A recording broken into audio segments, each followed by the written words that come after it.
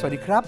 วันนี้เบิร์ดจะมาชวนพวกเรามาสนุกกันในแบบเบิร์ดโชว์ตอน Multibird หรือจักรวาลธงไชยครับ และคราวนี้นะครับเรามีรอบพิเศษที่จะได้ร่วมกันทำบุญเพื่อผู้สูงอายุของเมืองไทยด้วยกันนะครับ